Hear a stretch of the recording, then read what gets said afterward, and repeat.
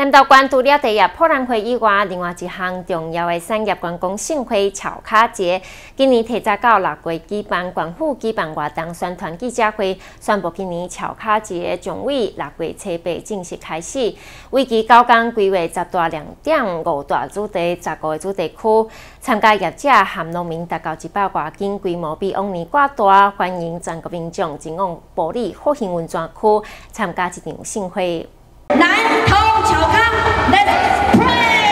馆长柯淑华甲一些贵宾共同主持启动仪式。今年度南投桥卡节将伫六月七八伫玻璃镇复兴温泉区正式举办。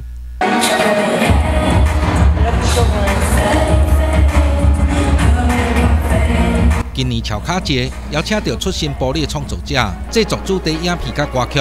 一连串精彩活动，将充满趣味在地产业、人文甲艺文气息。活动总共有九天的时间，有把去年呢大家非常喜爱的千人来手冲咖啡的活动，包括呢还有一起来做这个各式各样的 DIY。那透过呢这种亲子互动的关系，让大家了解南投县我们重要的产业就是巧克力跟咖啡。晚上还有艺人的活动的表演。那当然呢还有很多呃都是我们在地各式各样的巧克力跟我们的这个咖啡也在推出了。巧克力大餐的活动，那这个呢，我们一天只有四十八份哦。那今年的巧咖节呃不一样，好，我们希望打造是一个夏日派对，然后乐园起的这样的一个呃嘉年华的系列的活动哈。那今年我们总共规划了有这个十大亮点。好，那五大区域里面有十五个主题区，希望的塑造的是一个啊全国级的，甚至未来是一个国际级的一个巧咖节的一个盛会。南岛关生产咖啡面积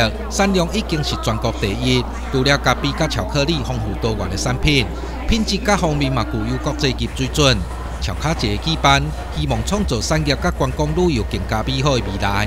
那我们国信乡的咖啡，其实在全国来讲，应该是种植最多的乡镇。不管是呃种植上的技术，以及烘焙上的技术，都一直在提升。那也曾经拿过拿过全国的第一。那所以我们希望说，有这么好的品质的咖啡可以扬名国际。那非常的感谢许淑华县长的用心。南投县不只是种植面积大，在国际的各种咖啡的评比呢，我们已经是呃居于亚洲的这个领先的地位了。所以未来我们希望呢，能够不只是在国内的市场，好，包括呢这个全世界，然后结合我们现在在地在普里呀，还有包括我们仁爱哈，包括国信鱼池等等的，呃，我们在地的景点，我们把它串联起来，有我们在地的呃饮食的文化，还有我们在地的景点，当然不能错过的就是巧克力跟咖啡。